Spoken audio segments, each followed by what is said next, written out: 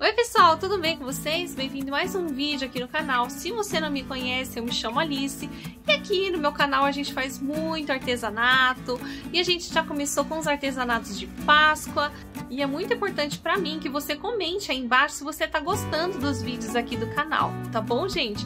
Então, hoje eu trouxe uma fofura aqui para vocês, gente. Eu ia levar esse vídeo aqui para área de membros, tá?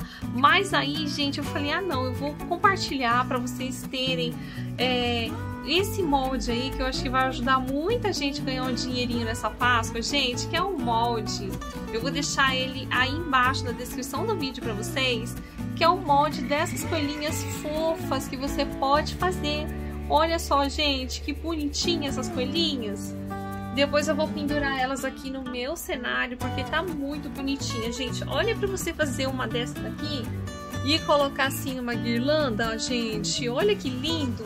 Olha que contraste lindo, o azul com o cor de abóbora, né? Das cenourinhas. Então, tudo aqui no canal você aprende, ó. Tem vídeo dessa guirlanda, tem cenourinhas que a gente já fez. E aí, gente, você vai brincar aí com a sua imaginação, com as coisas que você tem na sua casa. Gente, olha que linda! São muito bonitinhas, né? São uma gracinha, são bem delicadas. Gente, eu já confesso que eu tenho vontade de fazer outros artesanatos aqui no canal, trazer galinha pra gente fazer, fazer bonequinha. E aí, gente, os vídeos de coelhinho não vai parar por aqui, tá bom? Vai ter muitos vídeos ainda. E aí, se você quiser se tornar um membro do canal para apoiar aqui o canal, né? Que assim você me ajuda a comprar aqui os materiais pra gente poder trabalhar, para fazer vídeo, para se divertir. Então, o vídeo de hoje vai ser esse. Então, vem comigo pro passo a passo. Se hoje eu não vou aparecer, gente, porque porque hoje é sábado, hoje eu quero ficar de pijama, só costurando, né, se divertindo aqui com vocês. E, gente, nossa, hoje a gente vai montar umas coelhinhas aqui bem bonitinhas, bem delicadinhas. E bem fácil também a montagem dessas coelhinhas.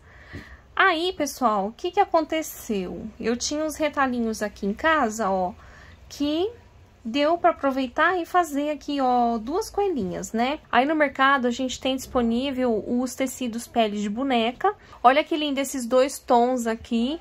E aí eu vou aproveitar e fazer duas coelhinhas, tá? Então eu já cortei aqui e a gente vai fazer a montagem delas juntinhas. A gente vai ter então o molde da perninha que eu risquei, gente, com um lápis, ó, né? E aqui eu vou cortar certinho nessa parte de cima, vou costurar aqui tudo em volta, desvirar e vou encher, gente, até só aqui, tá? Pra nossa bonequinha poder sentar. E eu tenho uma mania de chamar a coelhinha de bonequinha, né? Mas é a coelhinha. O bracinho a gente vai costurar todinho, volta. E na hora de desvirar, gente, a gente vai fazer um corte bem aqui, ó. Eu vou voltar com vocês pra gente desvirar esse bracinho juntas. Então, aqui nós vamos ter o molde da orelhinha. A orelhinha, a gente, é só costurar daqui de cima, ó, faz a volta e desvira. A cabecinha, gente, ó, é este modelinho aqui, ó, tá vendo? Vocês vão deixar a abertura aqui embaixo, vai cortar reto aqui e vai costurar aqui em volta, né? E depois desvirar e vai encher. Não precisa encher isso daqui, porque a gente vai jogar esse paninho lá pra dentro, pra fazer o acabamento aqui no pescoço. Então, o corpinho, a gente vai colocar assim, ó, e vai riscar daqui de baixo, faz a volta, vem até aqui em cima, deixa essa abertura aqui.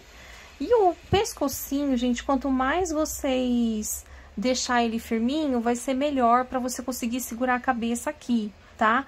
Se você quiser, pode até colocar um pouquinho mais de pano aqui, ó, para deixar mais compridinho ainda, para ficar mais durinho ainda. Às vezes, eu gosto de colocar um pedacinho de feltro enrolado aqui, aqui dentro mesmo, para poder ficar bem firminho mesmo, tá? E agora eu vou costurar tudo isso daqui e já vou voltar pra gente começar a fazer a montagem. Então, aqui o corpinho eu já fechei. Aqui pra perninha, o que que a gente vai fazer? A gente dobra bem pouquinho, gente, pra dentro. E a gente vai colocar aqui assim, ó, os pezinhos virados pra dentro. E vai dar aqui, ó, vários pontinhos. Você pode fazer caseado, você pode fazer o ponto invisível, tá? Ó, deixa eu mostrar aqui pra vocês, ó. Tá vendo, gente? Fica assim, ó. Fica bem legal, ó. Aqui, ó, eu fiz com ponto invisível. Aqui eu fiz com ponto caseado, né? Ele fica mais à mostra, mas também não tem problema. Ó, e vocês estão vendo aqui a perninha? Ela não tá muito cheia. Até que a minha, gente, acabou subindo aqui a fibra, ó. E ficou um pouquinho cheia, ó. Mas já dá pra...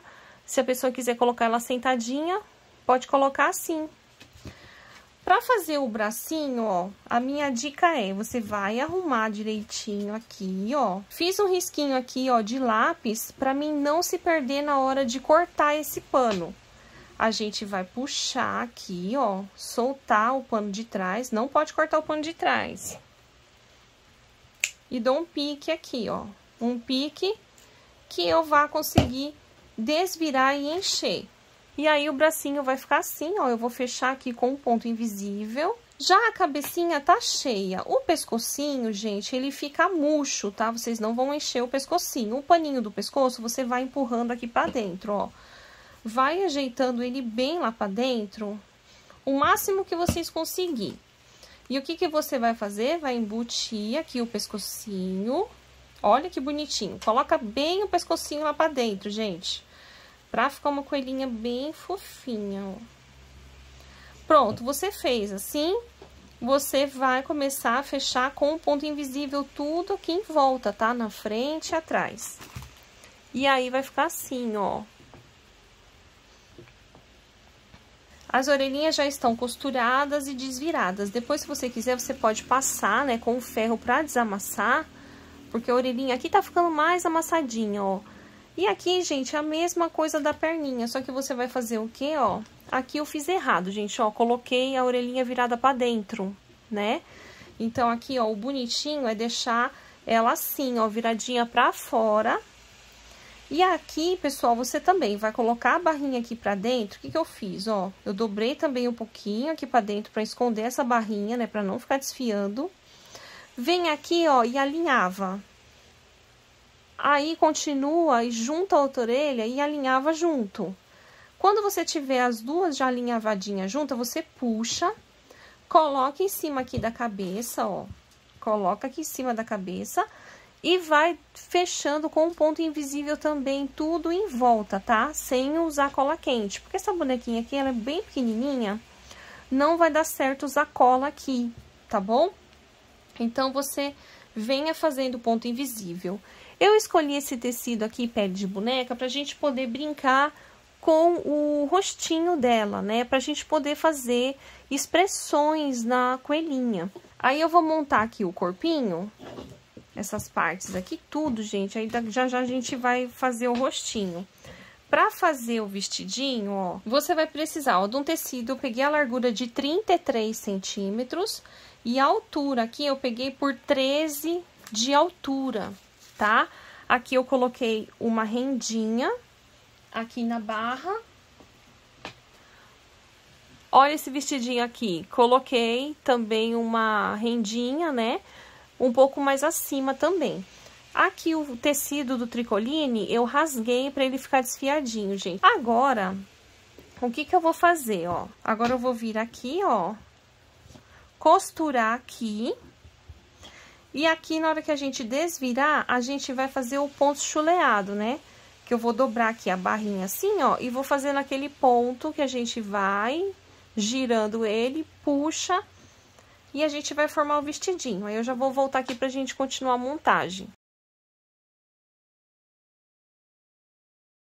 Agora eu vou pegar aqui um cordão de juta e vou amarrar aqui, gente, ó. Se você quiser diminuir o vestidinho, também você pode diminuir, se você achar que tá muito comprido. Agora eu vou pegar um fio resistente, aqui eu tô alisando, gente, o fio de poliamida,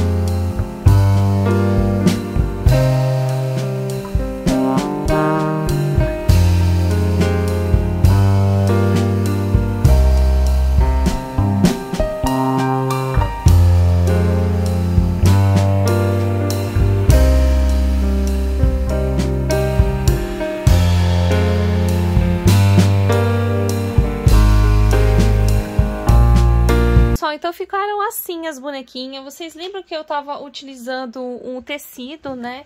De coraçãozinho. Vocês lembram que eu estava fazendo o vestidinho do tecido, gente? Esse tecido aqui era de malha. E aí, gente, que acabou não ficando bom, tá bom? Então não usem, porque aqui, ó, fica um franzido muito grosso, então não fica bom. Ou então tem que tentar fazer nesse outro modelinho aqui, que a gente pega um tecidinho um pouquinho menor e você costura a sainha toda franzida nele, né? E aí vai dar esse tipo aqui de efeito assim, pra poder utilizar o tecido da malha, tá bom? Então, gente, para não complicar muito, vamos deixar assim. Vamos fazer no tecido do tricoline mesmo, né? Então, aqui eu fui fazendo, gente, vários testes para ver. Na hora que você for fazer a sua coelhinha, você vai ver que vai dar vontade de você fazer outras. E aí, você já vai inventando moda, vai brincando aí de costurar, né? Que já vai nascendo, assim, uma diferente da outra. Então, gente, olha só que bonitinha, então, que fica. Essa daqui é a coelhinha com o tricoline só alinhavadinho aqui em cima, olha só. Amarrei aqui na cintura, né? E aí, gente, ela vai ficar assim, ó. Olha que lindinha. E aí está uma mais lindinha que a outra, né? Então é isso, espero muito que você tenha gostado aqui dessa aula. Ah, não esqueça também de compartilhar o vídeo se você gostou desse vídeo e acha que vai ajudar outras pessoas. Então você compartilhe esse vídeo que você vai ajudar muito. Na próxima aula eu trago outros modelos diferentes para vocês. Espero muito que vocês ganhem bastante dinheirinho aí nessa Páscoa, né?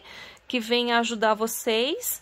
Então é isso, gente. Um beijo, fiquem com Deus e até o próximo vídeo. Ah, lembrando que o molde está abaixo na descrição do vídeo.